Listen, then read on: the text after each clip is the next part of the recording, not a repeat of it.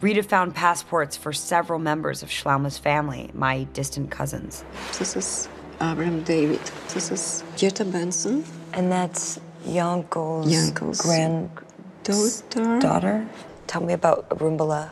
It is a small place. It was a forest near to the railway station, and um, all people from the ghetto were asked to put their belongings.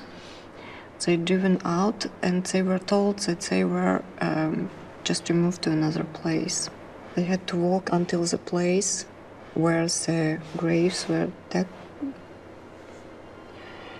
and uh, they were forced to undress and just to go into the graves, and they were just shot there. These branches just ended with, with the war.